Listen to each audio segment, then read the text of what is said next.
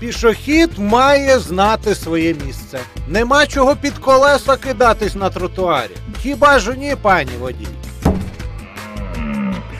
Львів'яни, харків'яни, закарпатці і навіть американці всі ігнорують платний паркінг в центрі Львова, в якому перша година абсолютно безкоштовна. Хлопаки, то у вас масова клаустрофобія? Ну, дуже гарно. Антипаркувальні стовпчики на фоні цього автопапуги виглядають просто жалюгідно. Об'їхати усіх на світлофорі і стати першим. Ти не геній, друже. Це інакше називається.